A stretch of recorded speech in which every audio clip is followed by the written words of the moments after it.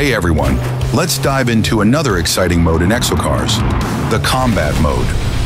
Exocars is a serious racing game, but we decided to give players an extra treat with a fun alternative mode.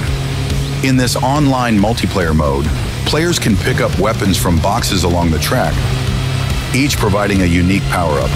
Attack the opponent overtaking you with a homing missile or a volley of rockets. Slow down your rivals and speed yourself up. Defend against players behind you using mines and a shield. In this mode, players can have all the fun they want, pushing opponents off the track and battling their way to victory.